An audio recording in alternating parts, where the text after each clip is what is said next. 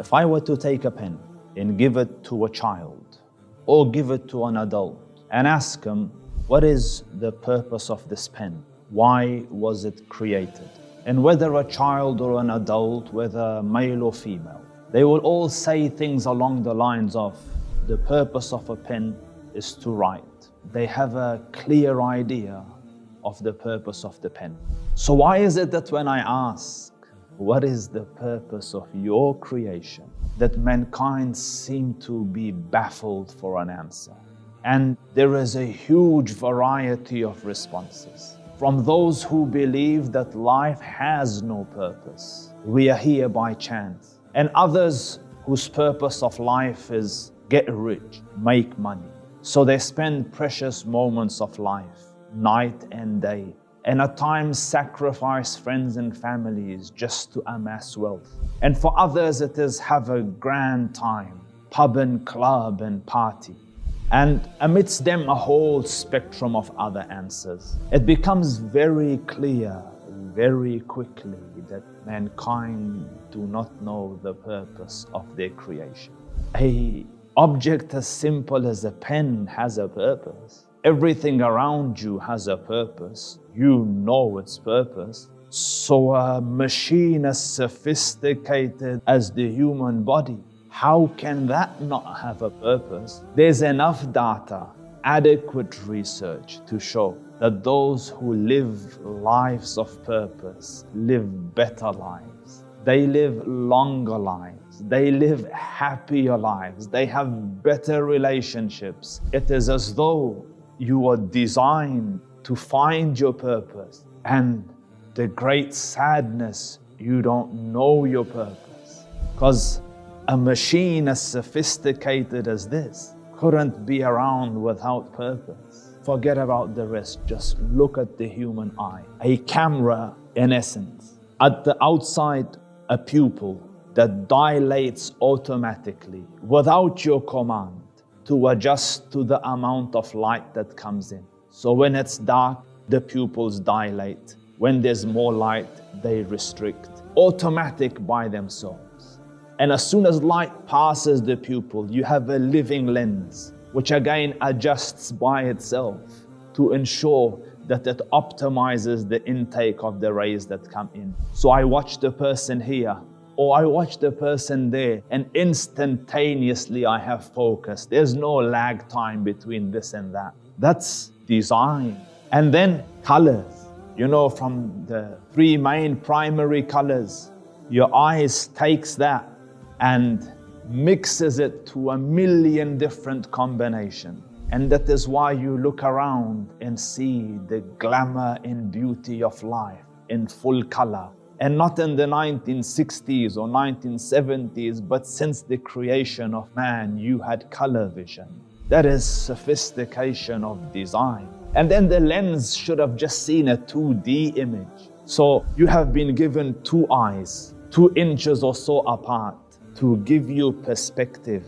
And as the data comes in, you have a processor that synthesizes, analyzes, creates a 3D image in full color to give you a rich, crisp experience of life. That's not an accident. That is sophistication. And just look at the safety mechanisms designed to protect this eye.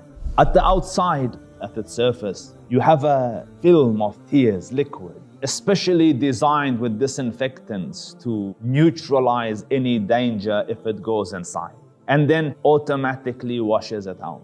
That is design. And outside if the particles are any bigger, that might damage your eye, the eyelids come down. Automatically, as it senses danger coming, it shuts to protect the eye. And if the object's a little bigger than that, you've been given skeletal structure designed to protect the eye. That is why when you get punched in the eye, you get a black eye, but not necessarily a blind eye. So why were you created? And the answer, dear ones, is in the question to know that you were created. You who sit today in a place of relative success, basking in the glory of your achievements. You're 35 now. Where were you 36 years ago? Which form did you sign to come here? Which plane did you ride to come here? You came here of no accord of your own. Someone sent you here, someone created you.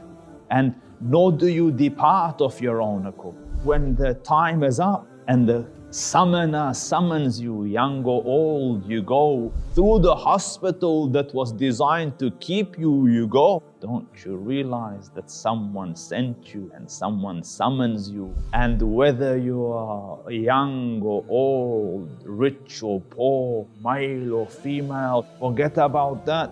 Kings and monarchs get summoned, and kings and monarchs leave.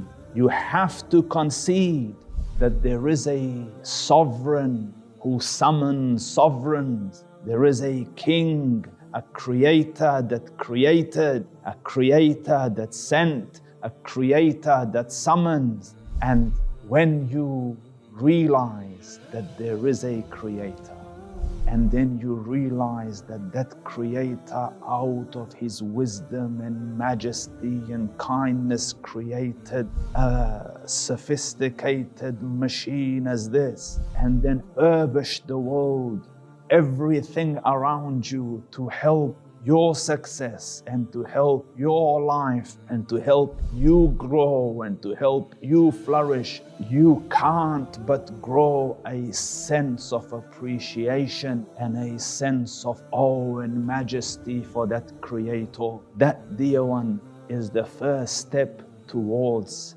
your mission to recognize that you have a Creator and then realize the favors that that Creator has done upon you, and in that way grow a heart filled with love and awe and reverence and obedience and glory for that Creator. والذين آمنوا أشد حبا لله and those who believe their greatest love is their Creator. And when a heart is filled with awe and love of its creator as he is worthy of that love, then out of your love, his wish becomes your command. You live a life aligned to the purpose that he created you for. And that is the purpose of your creation to find your Lord, love your Lord, to worship your Lord. Allah Rabbul Izzah says, وَمَا خَلَقْتُ jinna wal insa illa liya'budun. And we have not created the jinn nor humankind except for the exclusive purpose of the worship of the One Mighty Creator. And why do you worship? So that your heart gets linked to its Master, so that you're perpetually in love of the Creator perpetual remembrance of the Creator, perpetual obedience of the Creator. And if you succeed in that, dear ones, every cell in your body, from the tip of your toe to the top of your head, will synchronize and align to the greater purpose of the creation. In that you will find peace and solace, joy and comfort, happiness and prosperity.